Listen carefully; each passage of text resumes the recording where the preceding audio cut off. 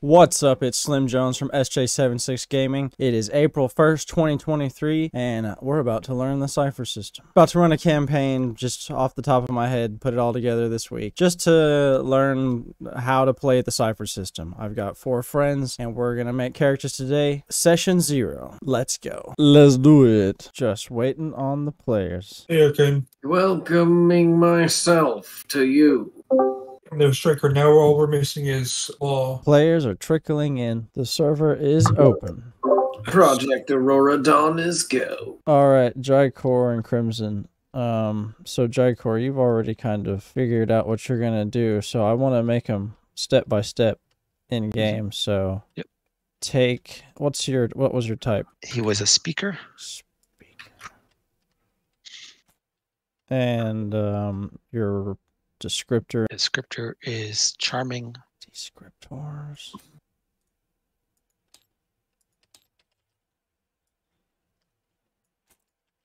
And focus. Um, entertains.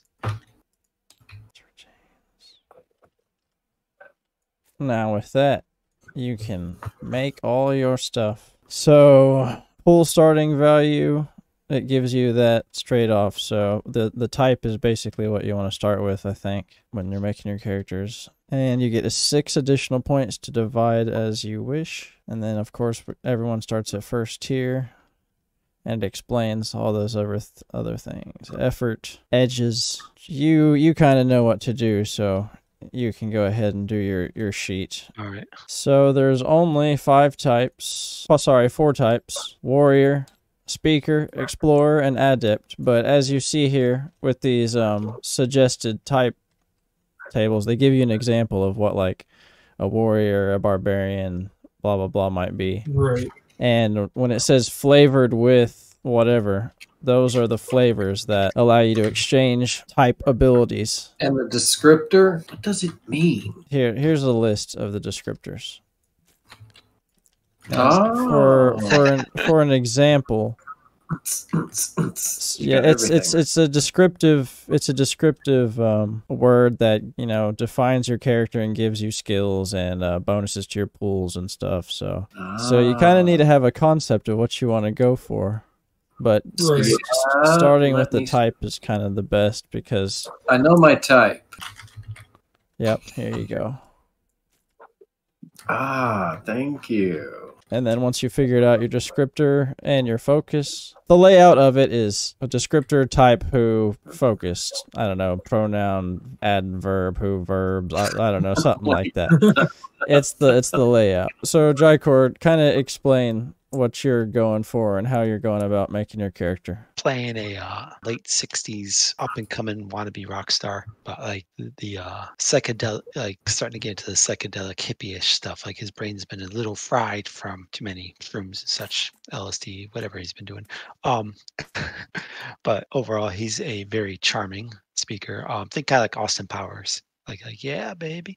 So that people like him a lot. His focus is basically he just wants everyone to have a good time. So he's an entertainer. So he's entertain. That's his focus. Very good. And because of all your charmingness and skills, you went speaker because he's talking a lot and you got the charming descriptor and who entertains. Yes, it all fits together. So, see, you have the concept for the character, and then all these options are pretty general, so you kind of just make it work for your, your own. Let me know Oh. what you want to do, Crimson, and I will hand you your cards too, and you can start. So XP, do we get any to you to start or? Um, not in this campaign since we're kind of learning. Okay, so okay. Yeah. But in another campaign, there are options to start with. Um, you can start with XP for like penalties, role playing penalties, and other things like that. But XP is the currency of changing the story for you guys in game. You can shut down my GM intrusions by spending experience. You can re-roll any roll, even rolls you don't make by spending an XP. Say Jykor makes a roll and he fails, and Arcane's like, "Oh fuck that! I want you to re-roll." He can spend an XP to do that. Uh, You need to spend 4 XP on each of those um, five advancement options at the top of your character sheet. So 4, 8, 12, 16, 20. And after that point, you're tier 2 and it resets. you got a list of all the skills. That's the thing about skills here. Let me give you this. Uh, It says I'm trained in initiative. Is that a skill? Yes. Actually, it, it, would- it would it's the wrong one. And, and so where is Yeah. it intellect, speed, or might that you write it under? So, uh, sp- int- um, initiative is speed. Oh. And it, so the thing about skills is there's not like a list of skills, but if you look at this chart up here above you, it is just like a list of ideas. Whatever you can think of might be a skill. Your pool is your stat, right? Yeah, so whatever your number is in that yeah, that your pool needs to be the same because that's what you're pulling from in the game. And whenever you're so whenever you take damage in the game, your might pool takes the damage first. If your might pool hits 0, you click one of those buttons on the damage track and you become impaired. And then it goes to your speed pool. If your speed pool gets to um, zero, you become debilitated and uh, you can't move really with your speed of zero. And then if your intellect pool goes to zero, then you're dead. And there are special damage and attacks that can target your other pools directly, but for the most part, it'll be might, speed, intellect. For most of the time, whenever someone's attacking you, you're gonna make a speed defense roll because that's like moving out of the way and dodging and all this. Might defense rolls are more for constitution against poisons and stuff. I didn't have any attacks listed on anything I saw. I didn't know if that was something I overlooked or. So your light weapon that does two damage, and because it's a light weapon, it's an eased attack. Whatever the target number is, it'll be one class lower for you hitting with that. But you'll always be two, doing two damage unless you roll a 17, 18, 19, or 20. Special rolls that modify the damage. I'm using the the hyperlinks in the friggin' Book. in the PDF. Yeah, oh, okay, yeah, good. smart. Yeah, I'll, I'll go and do that as well. If you guys need to do that too. Once you get it figured out, if you need a quick reference, I've got them in game too. All right. I, I'm getting the hang of it all uh, now. Yeah. Good, good. So, Any if I had to questions? Let me know. Banished to the shadow. Oh, what happened? What happened? Go back. it was banished to the shadow realm. Just as you said that. Uh, I was just joking. Oh no! Did it delete everything? You might have to just rewind time. No, don't hit that button ever. Did we rewind? Oh no. Ah man. Oh fuck. Okay. Shit. Yeah. I I'm see. gonna do it pencil and paper as well on the form here. Oh, is the entire thing bugged out? When I saved it, it saved it blank. Oh shit. Oh, it didn't save the actual. Like I see it in the um Hmm. preview of the saved object. It's got stuff, but then when I load it, it's blank. Damn. Yeah, damn. I think it's probably the script. I have to probably script it to be able to be saved. Well, so much for all that. PDFs all the way. All right. Well, that's fine with me. Howdy. Hello. Hello. Sorry about About that. time you showed up. No, joking. We have Good. gale force winds out here, and then tornadoes were touching down. oh gosh. day. Yeah. one. There's been lots of There's many fires. yeah. No, more like a house collapsed. I hope I didn't hold you guys up. No, no, we're- they just got their characters ready, and uh, you I can just get mine. get yours as well. Oh, are we actually having a session tonight? I have stuff ready to get the players ready for session one. They basically have their characters ready. Do you just get skills? I thought it was like just if you says you can do something. It tells you if you Gotcha. get skills or it's related to something. yeah. But Yeah, you can you can use XP to get um skills in game. Oh, Okay, gotcha. Uh, unless it's specific. How do you get a cypher? Is that Yeah, that is also an in-game thing that is okay? Okay, just curious because I'm just curious if I missed something. And okay, but I don't have any. Right? No, I don't think we do. Okay. all right. I'll be a vicious speaker. A vicious speaker who murders. Oh my god, dude. God, who is this? Jack the Ripper. Oh my god, this is amazing. That sounds like a serial killer. So, um, if you look at the the map on the table, this is a representation of distance and movement in combat. So, instead of specific ranges, it, there's immediate distance, short distance, long distance, and very long distance. Immediate distance is anything within 10 feet of you. Short distance is anything within 50 feet, but greater than 10. Long distance is within 100, but greater than 50. And then very long, yeah, 500 feet. You can So, uh, melee attack anyone within immediate distance. You can move an immediate distance and attack. So basically, anyone within your immediate distance you can attack. As your action, you can do that. Or you could move a short distance as your action. And you can move a short distance and attack, but that's a speed task of four, meaning you have to hit 12. And if you fail it, you basically stop. You stumble along the way and don't fully make it. And then you could also use your entire turn to move a long distance, which is 100 feet, but you have to make the speed task of four as well. So with movement, you can always move an immediate distance and attack, or you can move short. Otherwise, you got to make a speed task of four to move short and attack, or move long. I have a question. Yeah. Some of that. So in your theater of mind, whenever we're doing stuff theater of the mind, you just got to generalize. Oh, he's within immediate distance. Oh, it's a short distance, long distance. You know, there's not. Uh, well, because uh, with the um, uh, moves like the wind, it has it says stuff like uh, you move much further than than normal in a round. This means this means that uh, part of another action you can move up to a short distance. That see that right there. That what Yeah. I just said. You can move an immediate distance and attack, but with that, you can move a short distance and attack. So your character can move up to 50 feet and whack. Or if I cho- just choose to uh, move, it also says I can move up to a long distance. Yep. Uh, I can move a long distance or up to 200 feet. Yep. So it says it right there, Oh, okay. Uh, as a speed-based task with a difficulty of four. as I You guys said. just really yeah. fast.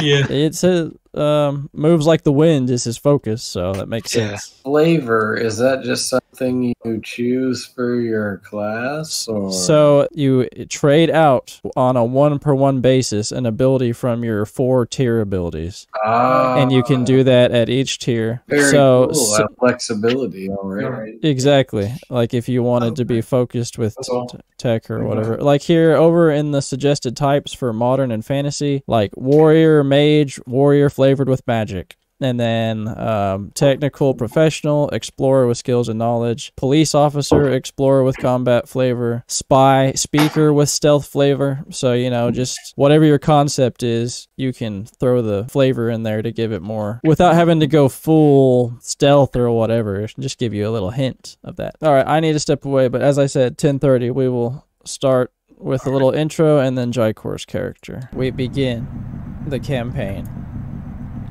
of Aurora Dawn, our first foray into the Cypher system. In the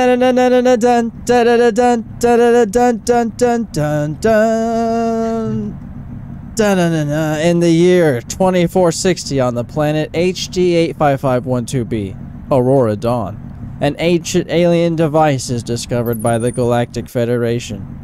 Scientists and engineers study the device, an arch embedded with six stones, and soon realize it's capable of altering space and time. Once activated, the stones disappeared, and let's make sure that we have the stones disappeared. Let me mark them out real quick on the thingy. The stones disappeared, causing the time space continuum to become extremely unstable, threatening the future of the entire universe. The Horizon Initiative, a secretive agency specializing in advanced and alien technology, take control of the device and act quickly to recover the stones and bring balance to the time space continuum. Four potential individuals are selected from the most stable timelines, and agents are sent to bring them to the present and convince them to aid the initiative in recovering the stones across time. Rightfully blaming the device for the chaos erupting across the universe, the Federation military and frightened citizens of Aurora Dawn are besieging the facility with the aim of destroying the device. Time is of the essence. Inside this natural cavern chamber with makeshift metal walls and uh, electrical cables tied up to this archway, sp- spewing with energy. A woman with the cybernetic eye uh, is at the work on the main console. Four armored agents behind her, looking back as the lights in the room are flashing red in certain areas. Ding, ding, an alarm sounding off. Two massive war droids stand with their guns pointed towards the entry. The agents speak. We don't have a lot of time. The Federation is coming in. Who could possibly help stabilize the, the time space continuum? I found four biogenetic signatures that match perfectly. You need to go and get them now. I'm setting up the routes. She clicks away on the keyboard quickly. Get in there, agents. Go. Ah, this is never gonna work. Go now. We don't have any time. Time is of the essence. Dun dun dun dun. The agents line up one at a time. They look back. They're wearing like full black looking like spacesuits and they've got devices with them of unknown unknown use and perhaps some kind of laser pistol thing. The first one turns around. Dr. Vega gives a thumbs up and he walks up, disappearing. Disappearing through the portal. Wait for it. She clicks away. And in similar fashion, each of them go in, disappearing into the portal. Each after an individual series of clicks. She begins moder- monitoring the computer and awaiting their return. 11 a.m. Monday, August 18th, 1969. Bethel, New York. The festival known as Woodstock. Jimi Hendrix has just finished his set to a totally grooving, stoned, and tripping crowd. In the stage, to the side, with a bunch of other artists, people smoking, uh, engineers making sure the microphones are working, uh, amps are projecting. What security there is making sure things aren't too crazy. Who stands there preparing to go on stage as Jimi Hendrix is waving to the crowd and coming um, t- towards you? He's still on stage. He's walking off towards uh, you, Jykor. Tell us what your character looks like. Tell us all about him as he as you are preparing to put on a show for this the largest crowd you've ever seen. Uh, carrying his acoustic guitar in his hand is a uh, young man with a uh, bit of a um, bowl cut type deal going on, and uh, he's wearing his uh, kind of like a business suit, but it's like all funky colored, as you can see on the token there. But he's feeling a bit nervous after having a following up Jimi there, but he thinks he's got this in hand. I mean, he just popped a bunch of shrooms behind stage, and so like he's not even sure if this crowd is real at the moment. It's like he's totally like freaking out of his mind, but he knows he must perform. He must go on for the show. But they depend upon him. As you're getting your wits about you, Jimi Hendrix come out comes out with his ruffled shirt, cool attitude, sweating profusely. A crazy crowd, man. Johnny, you're gonna have a great time. I, I I hope so, man. I don't know if I can follow that up, but oh man, whoa! It ain't nothing but a thing, man. You just gotta groove with it. He hands his guitar off to someone, and he uh, he takes a towel, wipes his face, and goes off. Some um, early '70s looking women waiting to take him to join Save him. Some the, save some of the scoopies for me, man. He gives you the thumbs up as he as he as he doesn't even look. He's just walking away with them. Um, someone comes up. He's got a clipboard. Uh, he's kind of like, uh, Johnny Horton. Jo- uh, jo- oh, uh, is that an Au- Rick Rickton? Johnny Rickton. Uh, was there a Johnny Rickton? yes, yeah, I'm here. All right, go on, get out there. The, J- Jimi's got him all primed up for you. Oh man, man. John just walks on the stage and he just starts waving around. You can tell overall the uh, as you walk out, and they can. You're bringing. Uh, how how do you look walking out as the uh, atmosphere? You can tell the crowd is getting louder. Peep ch- cheering. He's This guy's head straight, his holding his back straight, like you know, just walking. Um, just uh, very proud looking as he's like waving, um, waving to like one of the girls as they, they toss their bra at him. he just walks to the center of the stage. Yes, you you see several women fully bared. Uh, Kind kind of muddy, kind of dirty, but it, it is what it is. And that's that that image is displayed all across for you, but there's just so many You you Yeah. can't put your eye to any individual thing. Sea Too long. humanity in front Si- the sea, if you, as I said, the largest crowd you've ever seen, but indeed a pleasurable moment, and people are giving you the pleasant vibes as it all starts to kick in. All right. All right, so this is going to be the first roll of the the game. So I have to determine the task difficulty of playing the song here. So you have to follow Jimi Hendrix. I mean, there's a lot of pressure. Um, I'm gonna say it's a task difficulty five. It's challenging. Even trained people often fail. Target number 15. But this is your opportunity to tell me what skills you have and uh, what things could possibly ease this role if you have Alright. anything. Well, he's trained in all social skills except coercion. So perform. I like it. You ease the task by one. So So, just a f- D20. so for so you've taken it from a five. You've ta- made it less challenging to difficult because you are uh, very experienced. You're you're confident. So now you have to roll a twelve. Are you gonna use the dice roller, or I don't? I don't really care, since it's like Oh. one roll. okay. I'll I'll just watch. Oh, You fumbled. Not too bad. Ah, ah. um, well, just to back up, you didn't. You, did you want to apply any effort? So if I apply effort, that reduces. So you would have to use three points from your. Uh, do you have an edge in intellect? I do. I have a one. So you could use two points from your intellect pool, and um, that would uh, be a level of effort, and then that would ease it down to a, a nine. But you still would have failed. Yeah. Hard to follow up, Jimi. Yeah, combined with trying to follow Jimi Hendrix, and maybe the mushrooms are having not the effect you wanted them to on your performance.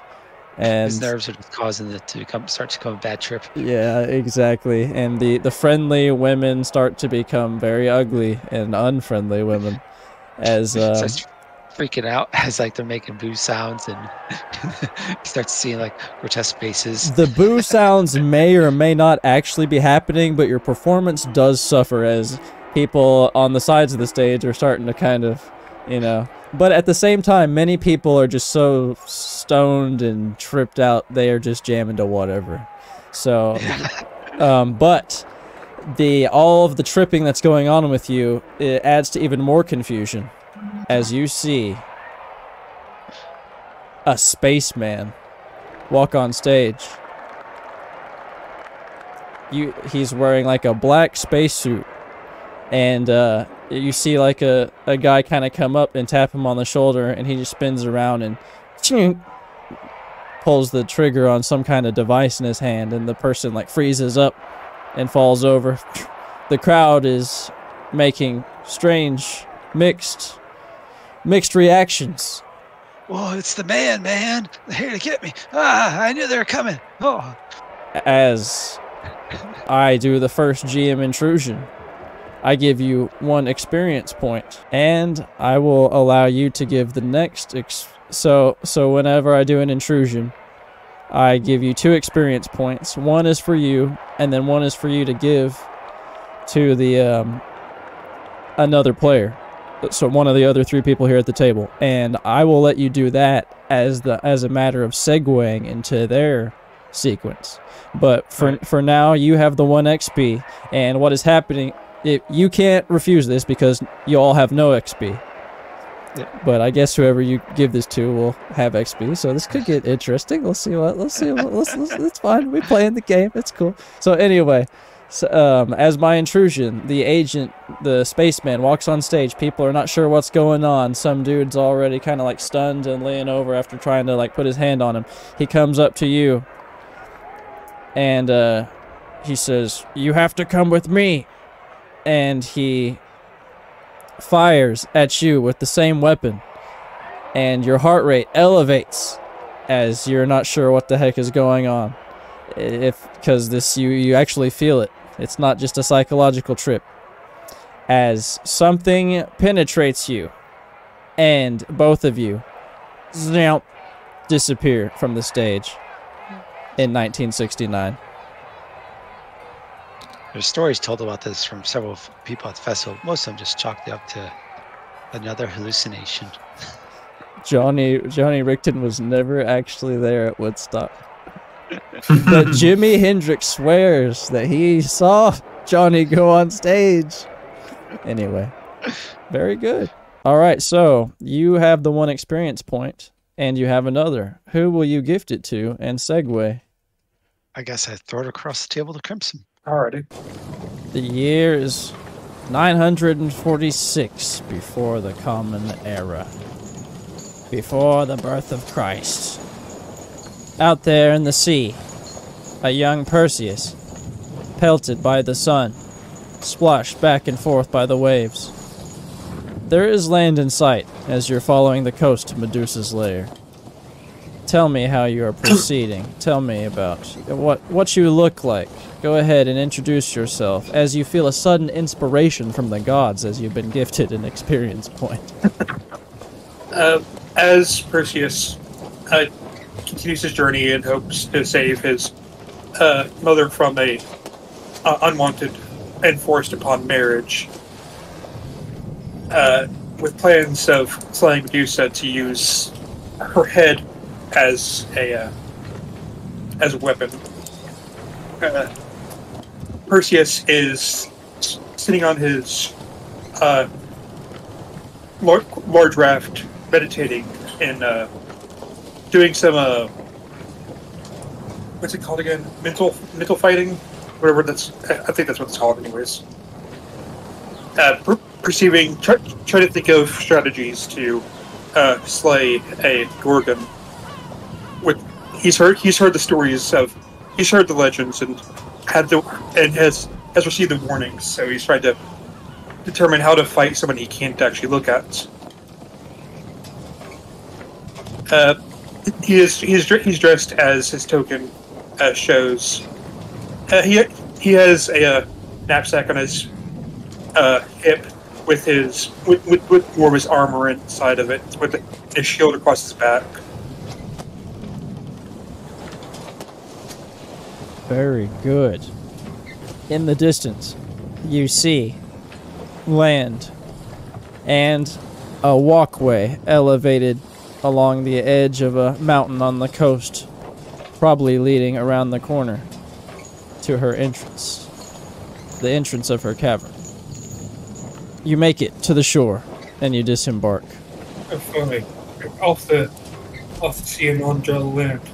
Wish they would have at least provided me with a better boat, but what can you do? As I make my way towards the cavern. Yes, you make your way up the path and along the elevated kind of plateau edge around the mountain, and suddenly you see a figure covered in full head head covering, full rags. Uh, it looks Persian, perhaps, and he has a blade. I'll, I'll rest my hand on my uh, on the hilt of my blade as I climb down. Hello there, fellow traveler. You are not from this land. Go away.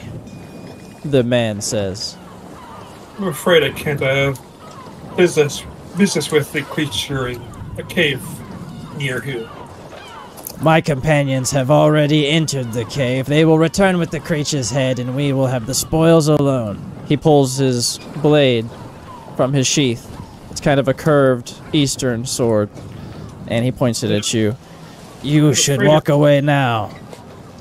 I'm afraid if your companions are as worse as you, they might already be per- might, might have already perished at the hands of the creature. You even know creature you, you are out to vanquish. It is the snake headed woman.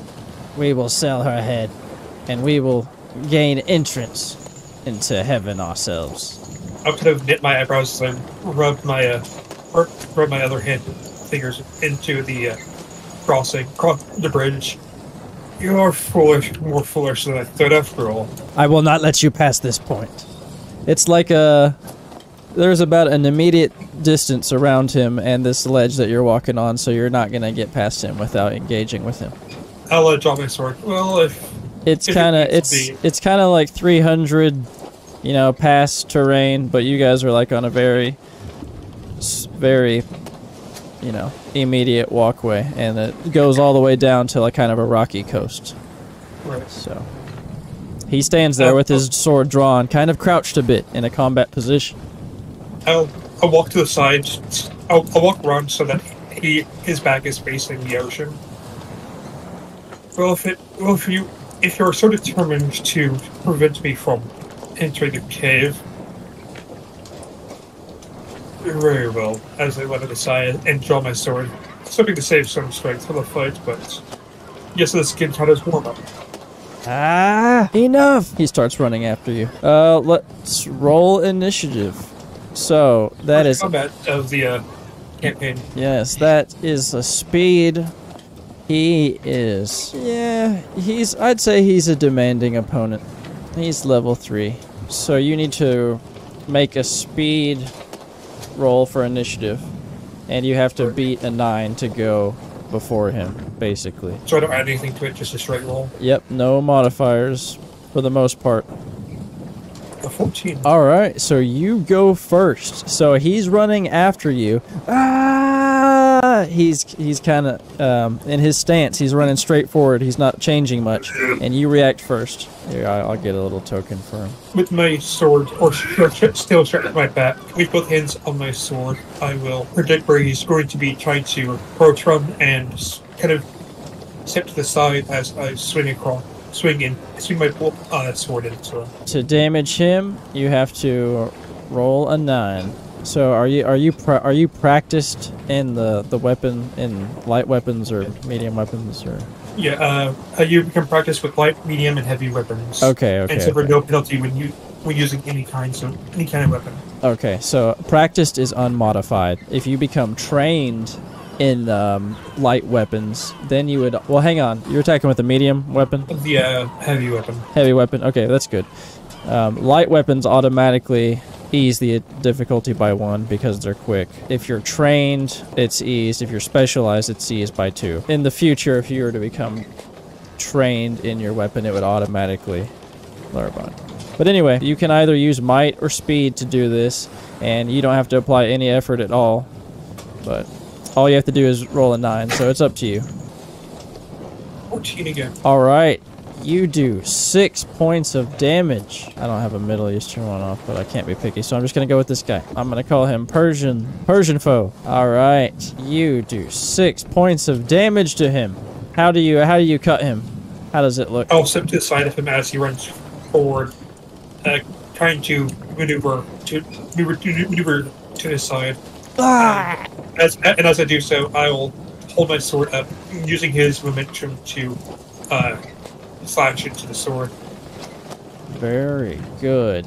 He is extremely bloodied as he's ah, as he's like on his knees while uh down past you a little bit as he uh, went past you on that attack and he comes back up uh, wavering holding his uh, slightly curved sword at you as it is now his turn as he thrusts straight at you. You now need to make a defense roll which is a speed roll against his level 3 which is a target number of 9 so it's probably just a flat roll then? Yeah, all right he thrusts at you after he's bleeding profusely after you slice him. That's six. Unfortunately, you're caught off guard by him still being able to do anything as he thrusts at you, as you take three points of damage to your might pool. And it's I'm guessing it's something that'll be recovered during a rest. Uh, the recovery rolls I explained. Uh, there's the one action, 10 minutes, one hour, 10 hours reset, and it's 1d6 plus your tier level.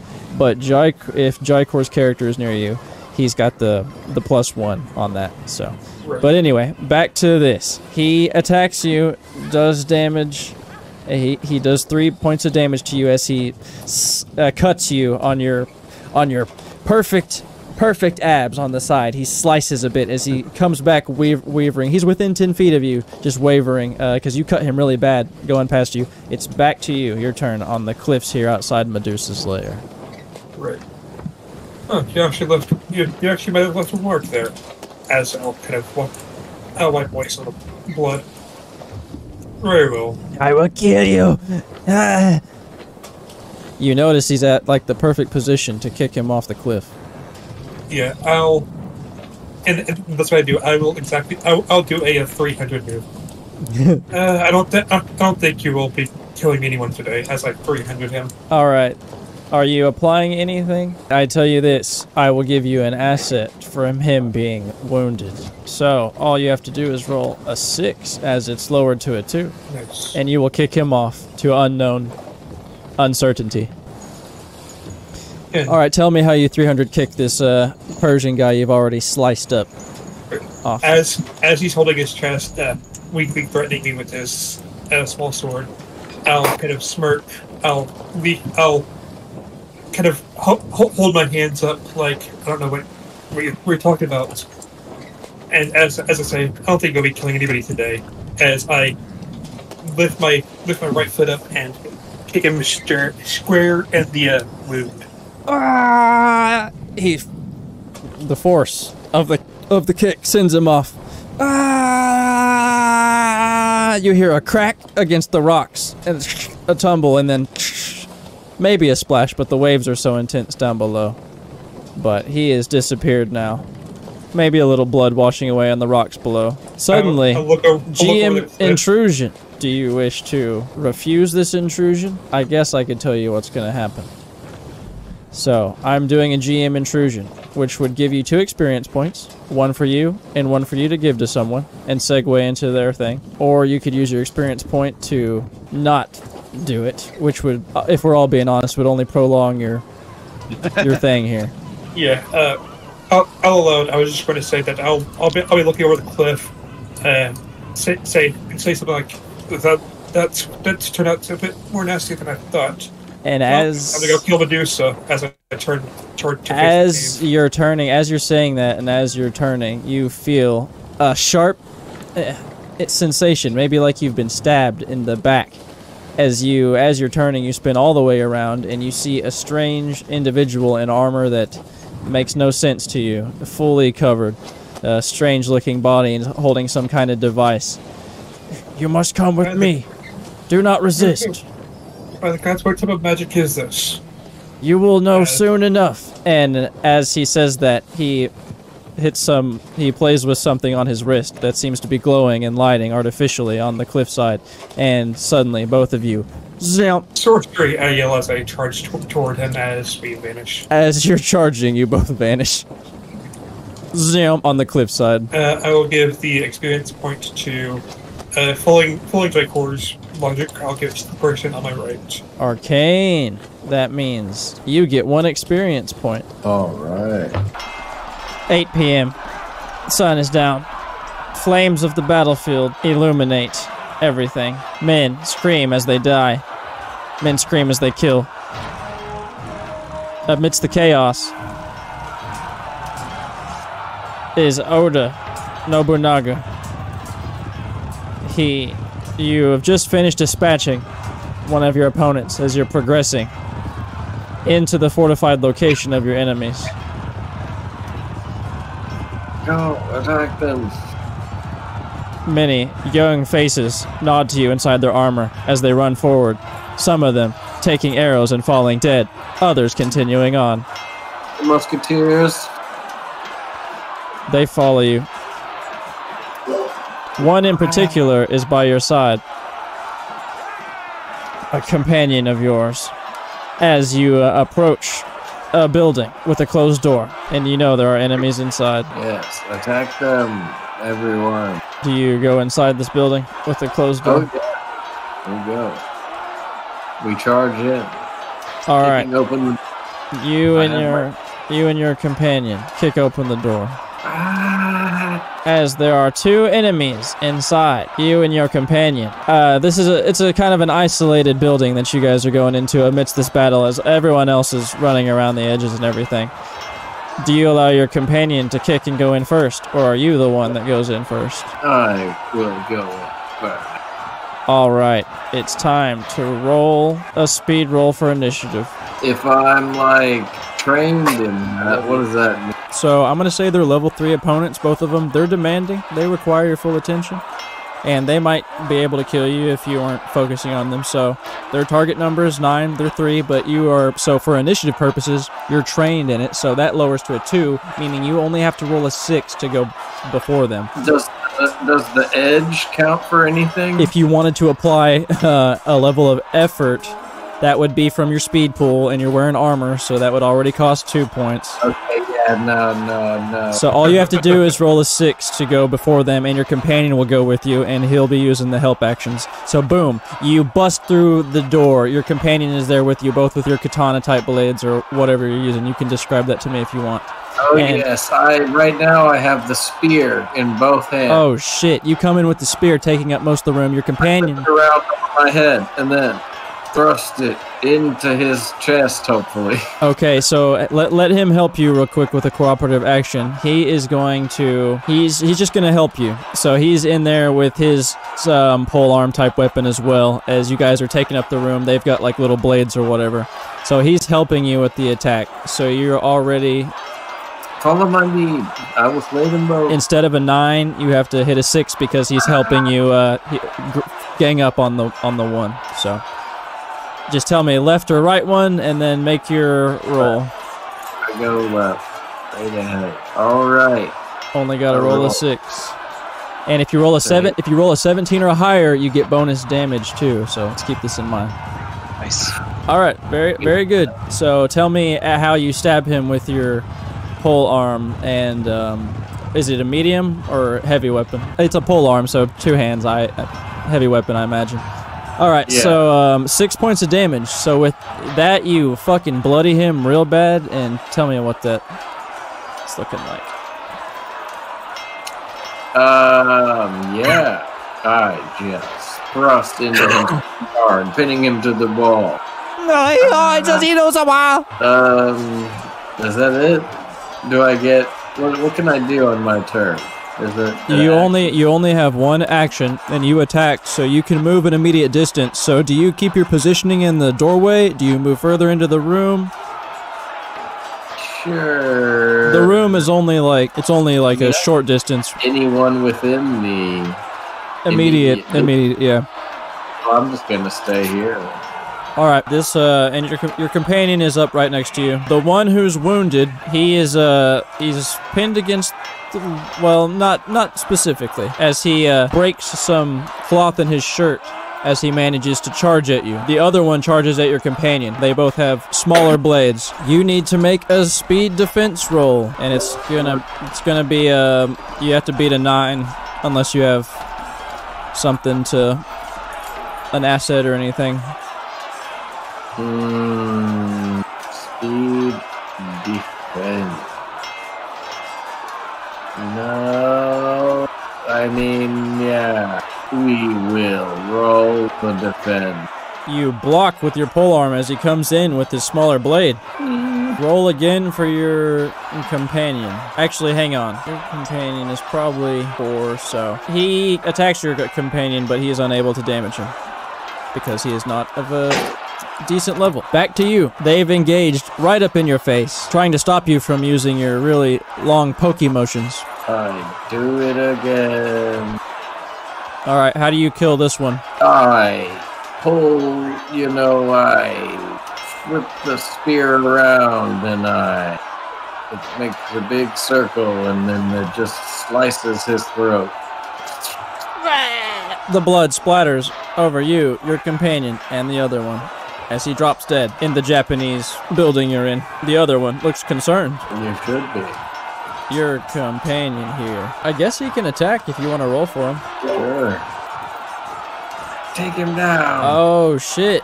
An 18. Nice. That does an additional plus two damage.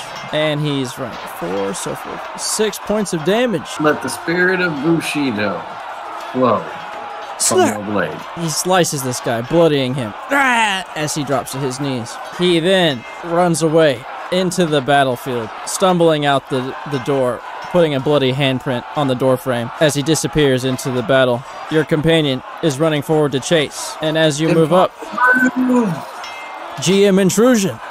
You suddenly feel a piercing sensation in the back of your neck as you see your companion freeze up and fall over. Oh, Nani? Nani? As you spin around, you see a foreigner in foreign armor.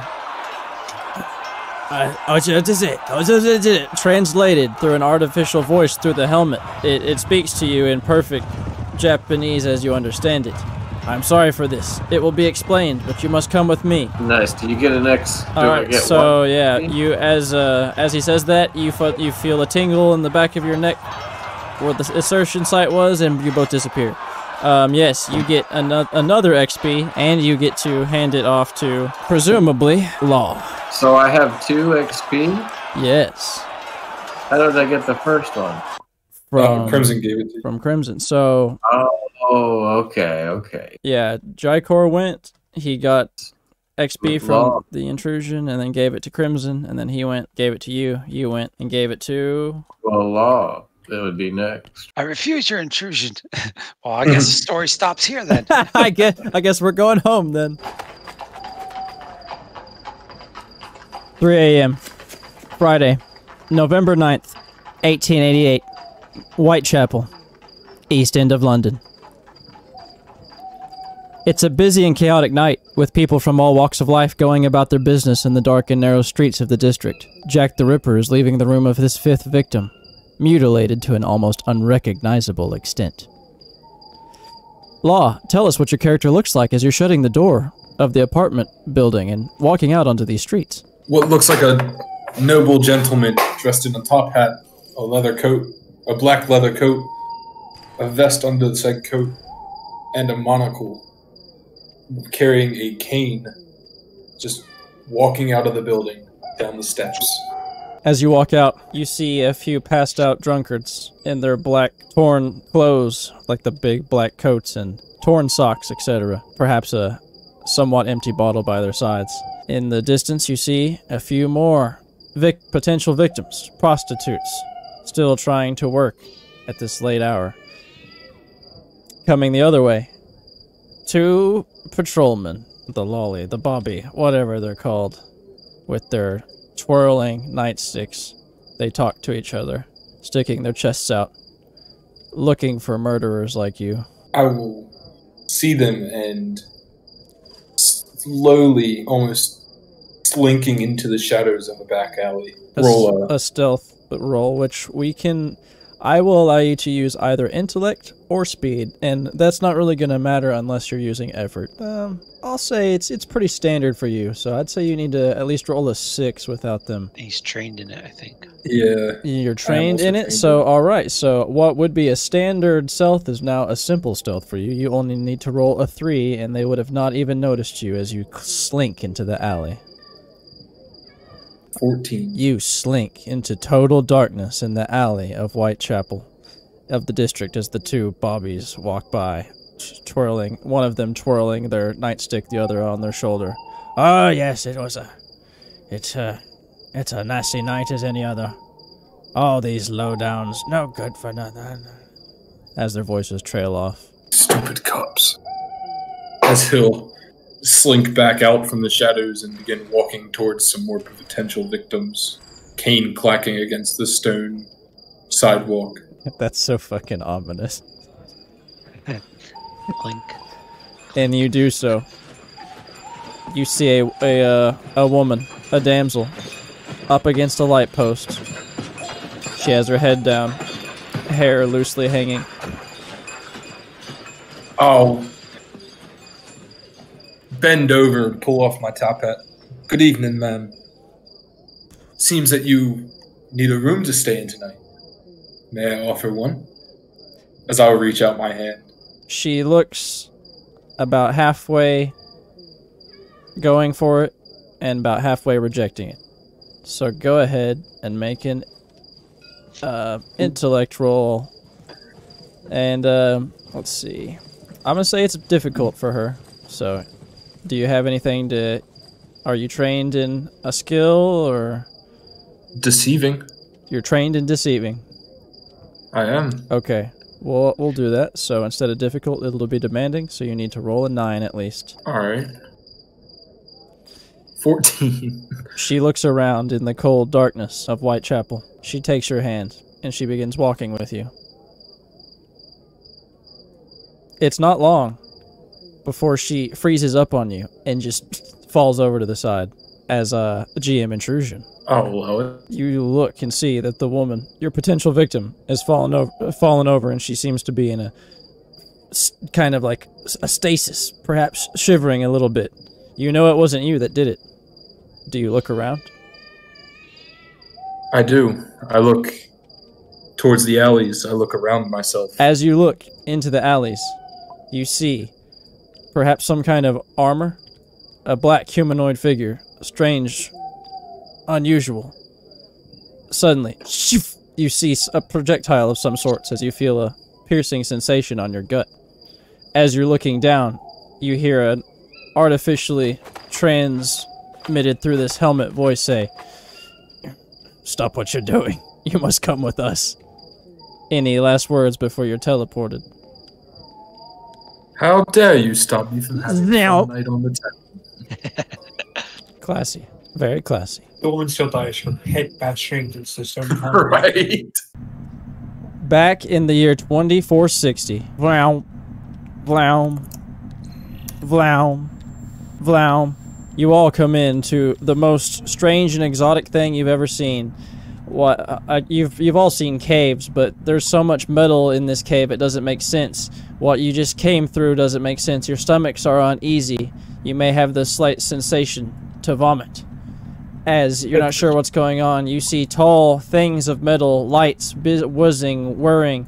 The not one but three more of the figures that grabbed you walking past you and around you up to a platform behind what appears to be some kind of woman with a strange look on her face strange armor strange devices all around behind you a massive swirling vortex of light and energy twitching like electricity but completely covered in a, a portal of energy the woman says Please stabilize yourselves. Are you all stable? It Stable depends is all what you mean by stable. Ah, you seem to all be, uh, you seem to all be in order. There's a reason we've brought you here. I'm sorry to interrupt, but it, you're the only ones that the computers here says can help us. I was in the middle of a quest for to spare my to save my people. Tell me what you have brought me here for. This is a far, I'm- this is a far greater quest, young Perseus. Well, it's it's it's, it's for another people. Is is it not? It's it's all it's the same type of quest in the end. Save your people, save your people. It's the What's that same mean? thing with you. Speak it. It sounds like I don't know. Perhaps I should explain the situation. This device behind you, she points to it as you may or may not look. You see six indentations uh, evenly spaced along the arc. Look, looks like they're big enough to fit some kind of gem or stone. We found the the people of, of this time.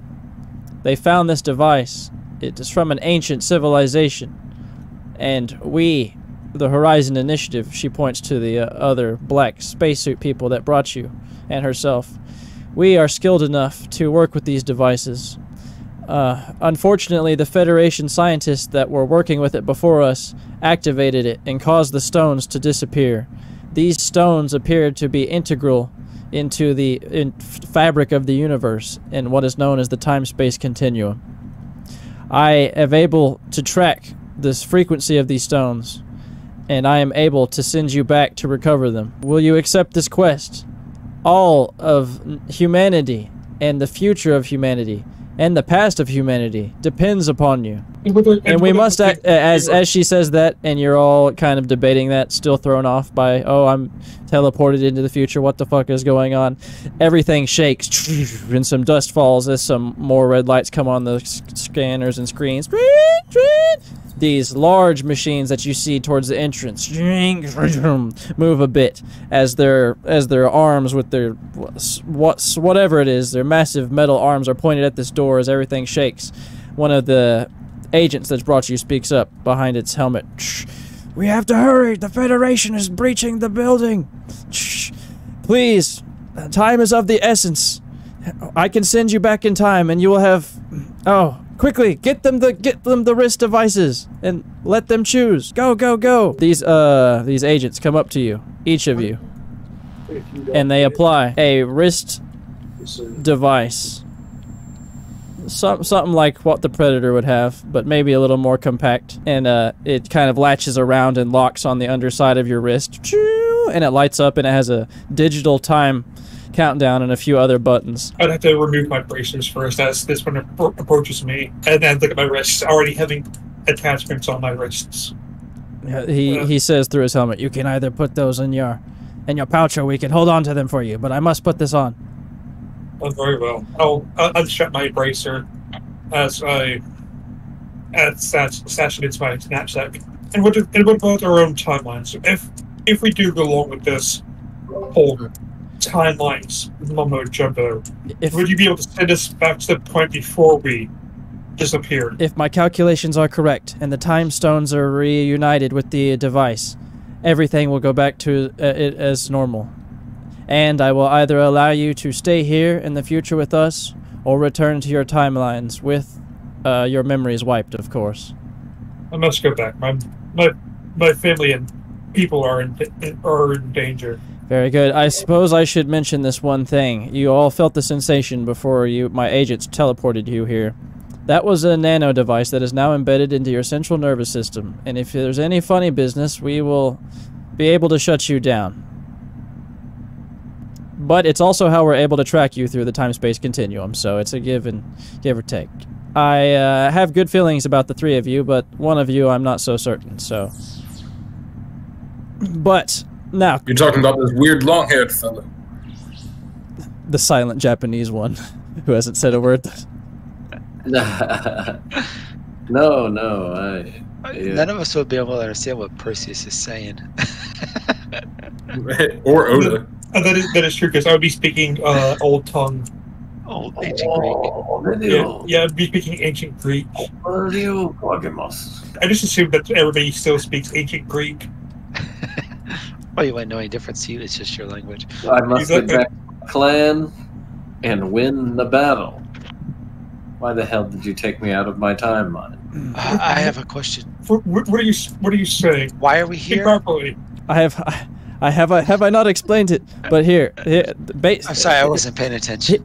Ah, Something yes. about Th- the there was there was something in your file about your attention span due to drug use. All right, now uh, the six the six st- stones are missing. You know, you have six options. I can track them through the time space continuum, but it'll be up to you to choose where you go first. You just have to bring all six of them back. Here are your options. The one that we call the time stone is in uh, Saturday, March thirteenth, nineteen forty three, in the Czech Republic. Um, Yes, this Czech Republic. And and, and, and and y'all too speak proper. Speak properly. I can't understand what you're saying. As you talk to uh, Johnny, he'll slowly start saying so- or speaking back to you in ancient Greek. Oda's, yes. Nobunaga, Yeah. yes. He's like, I have never heard of this country. Must be Where bad. is where is this uh, Czech Republic? Is it near Athens? This is like playing Crash Bandicoot or something. We have all the levels just right here at the beginning of the game. Or like Gauntlet or whatever, you know? So we need to go to 19 something and get stoned. Okay. There is also there are there's still there are still five more stones to recover. I, I'm sorry, I'm going as quickly as I can. Hold the defenses. She looks back to the agents as uh, Oh, oh, oh, yeah, Francis it's- delivers. Is Johnny still speaking in uh, ancient Greeks? Right. you can all uh, you can all understand them maybe because of the neural devices, the nanobot Oh. devices in you. Oh, But but if if you guys can if you guys can understand each other, that's another thing. For for now. right. Yeah, and, yeah. If, if if if Johnny says get, get, getting stoned in Czech Republic, uh, in in in Greek, uh, Perseus will reply back to you. Oh no, you don't want to get stoned. That, that's that's painful. the second It- it- more, more than likely you would die. the, That's s- for our frail body. the second stone we've tracked it. September first, thirteen ninety four, Paris, France. It's the dark stone. Dark Stone. Bring the dark stone. Oh, 13. I didn't know anything about that year, man. 1394. Oh my god. All right, the, the third stone. I'm sorry, I must move quickly. We do not have time. December 9th, 1781, Philadelphia, Pennsylvania, in the 13 colonies, I suppose. It's the Firestone. The fourth stone is the Life Stone. 2,301,034 years before the Common Era, somewhere in Central Africa. Oh, great, man. I always wanted to go to Africa. The fifth stone is the Mind Stone, somewhere in the future. 3768. Your future or our future? Everyone's future. And the, the computer says it's on the planet Mysore 5. The planet? Oh, man. I knew the spacemen were going to make it somewhere, but oh. I suppose I should tell you that we're not on what you know as Earth now. We are How do you mean we're not on Earth? we are in another solar system a planet. Planet we are on is HD 85512b, known now as Aurora Dawn. But that is there is one more stone. We're getting sidetracked. The final stone is the tidal stone, 7463 before the Common Era, in what you may know, Perseus, as Atlantis. I've heard that some of my ancestors are from Atlantis. If you have any questions, ask them now, because you must make up your decision so I can program the portal to send you back to one of the six time zones. There will be a countdown on your wrist device. Once that timer goes out, you will automatically be sent back here. There is another button you can press that will send you back if you need to come earlier. You will have a limited amount of time in each of the time zones. And I offer you all one of the two cyphers. What is this cypher that you speak of? And what are these places that you mentioned? I've never heard of things such as the Czech Republic or Paris. She she shows a, a big hologram comes up, a big holographic map of the entire world, and it shows this is where you were born, this is where you're going, and it's just very informative and mind blowing as it's just projected right in front of all of you. Oh yeah, especially for Perseus, because uh, It's magic, sorcery. What is this? How does it know all this? Is it even real? Especially for um, Johnny, has still has, tripping. has society has society turned into has society been overrun by sword by spellcasters and witches? How are you able to conjure up such imagery? she says that I can I can offer each of you one upgrade to your wrist devices. You can only choose one of these two.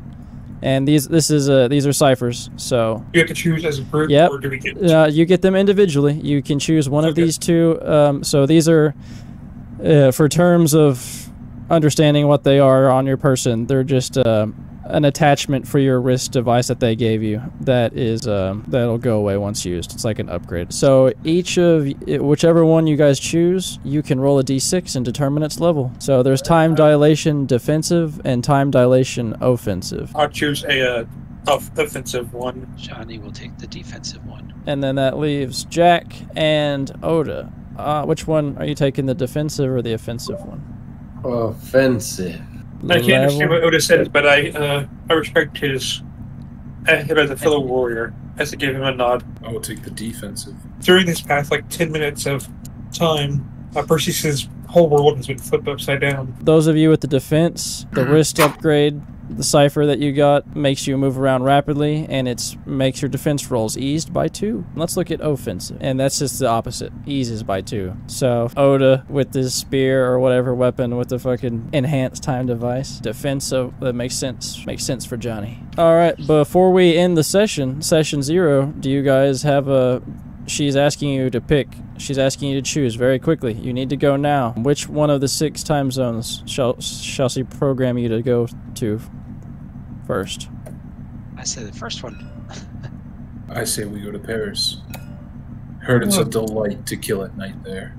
I say I say Atlantis. See what my ancestors were raving so much about back when they were alive. If you if none of you pick, I'll have to set it on a random sequence. Set it on the random sequence. Are we all fully starting to understand what we're saying? By the way, No.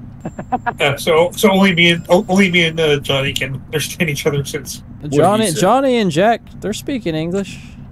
well uh, jo- Johnny said that he was starting to speak uh, ancient ancient Greek since he was listening to me. Ah. But he doesn't know he's doing it. He just does it naturally. He's picking up on it. Is the random sequence your final answer? She says. I don't know. I Another don't old- understand what they're saying. What do they? What what did what do they speak of? I can't Oda wants to do a random sequence. Uh, Jack wants to go to Paris. Johnny wants to do the first one. And you want to go to Atlantis. You're all split. Yes. We're going to have to make the Uh, decision for you. I do have a question. How are we supposed to work with each other if we can't understand each other? One moment. Try now. You, You all understand me. you all feel a tingle in your skull as you can now understand each other. Ah, switch it back. They sound annoying. They she adjusts it for Jack. That's the last favor I'm doing. Make up your damn minds now. Take us randomly. First one. Very well. All right, Random she does the random sequence, but I'm gonna let you guys roll because the GM does not roll in the Cypher system. Someone roll a d6. I got it. Ah, it was destined. All right, when we start next Saturday, we'll be going to 1943, the Czech Republic, for the time stone. As you all zoom. Well, who goes? Who goes in first? What's your order? Not Jack. I guess I would have gone first. Daniel, will be behind you. Perseus, Johnny, Oda, then Jack. The agents are as they as you all walk in. The agents walk forward and look on with awe as they look down at the consoles. To By the way, uh, before we went in, uh, Perseus would have put on, put on his uh, breastplate. very good. They It, allow it, that. it- it's just perfectly sculpted to look uh, just like a bronze version. They his. as you're putting it natural on. As they as you're putting it on and you're all walking through, they they hurry you on as rubble falls from the cavern floor. Things are shaking, lights are going off, the machines are acting weird at the gates, and we will resume with session one. Do do do do. What do you guys think so far? Oh, Totally. it'd be fun. Yeah, I like it. It's interesting. Same. Yeah. I need to get going home though. It's different, but I think once you get used to the uh, lowering the Yeah, once you get difficulty and going and understanding stuff, the yeah. ups and downs. Yeah. But all right, I'll Yeah. see also, you make sure to save your uh, PDFs so that it doesn't. Uh, Yeah, make sure you're saving your character sheets for sure with all your XP Right. and everything. Intrusions are funny. Yeah. Yeah, I'm sure You this. get shot in the. I'm sure this will get good for sure. All right, you guys take Oh. care. I'll see you all next Yeah, you weekend. too. See ya. Really.